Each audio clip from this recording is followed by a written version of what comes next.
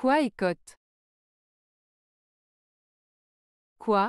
Le mot quoi est un adjectif qui signifie calme, silencieux ou réservé. Il décrit une personne ou une chose qui est tranquille et qui ne fait pas de bruit ou de mouvement excessif. Exemple, après une longue journée de travail, il aime se détendre dans son fauteuil préféré, quoi est paisible. Les enfants étaient quoi dans la bibliothèque, en train de lire attentivement?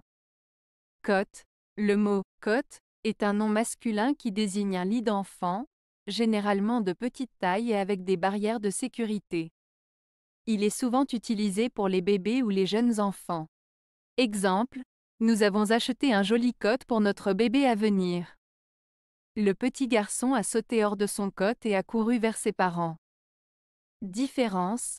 La principale différence entre quoi et cote est que quoi est un adjectif qui décrit une personne ou une chose calme et silencieuse, tandis que cote est un nom qui désigne un lit d'enfant.